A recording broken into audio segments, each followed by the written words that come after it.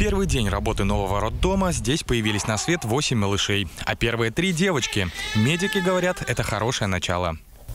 Девочка родилась 11, 11 19 Вторая девочка назвали Миланой. Вот, переехали в новый реконструированный роддом.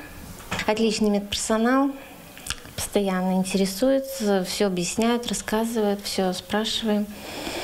Ремонт, ну, приятно, красиво. Я шла сюда рожать целенаправленно, потому что в этих специалистах я уверена, я очень хорошие и читала отзывы, и слышала. Поэтому, ну, а здесь, безусловно, лучшие условия, конечно, чем были в прошлом, поэтому... Современный родильный дом Могилевской больницы скорой помощи – важнейший объект для всей области. Здесь помогают жительницам Могилевщины, у которых возникают проблемы при рождении ребенка. Оборудование и квалификация персонала позволяют справляться с любой внештатной ситуацией. Оборудование действительно очень современное. Кювезы Бабилео э, немецкие.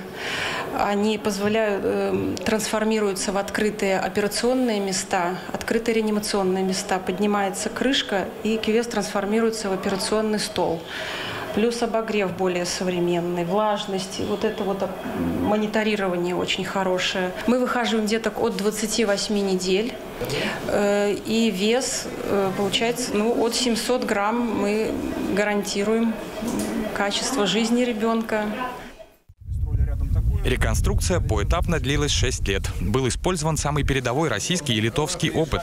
Теперь в роддоме есть индивидуальные родильные залы, палаты семейного типа и много других новшеств. В итоге в Могилеве появился настоящий перинатальный центр. Больше всего горжусь тем, что э, на сегодняшний день я никогда в жизни не видел такое большое количество техники, причем такого уровня, сконцентрированной в одном месте. И это место – это наш родильный дом. Теперь нужно двигаться дальше. И в Могилеве есть план развития городской больницы. В частности, стройка нового кардиологического корпуса.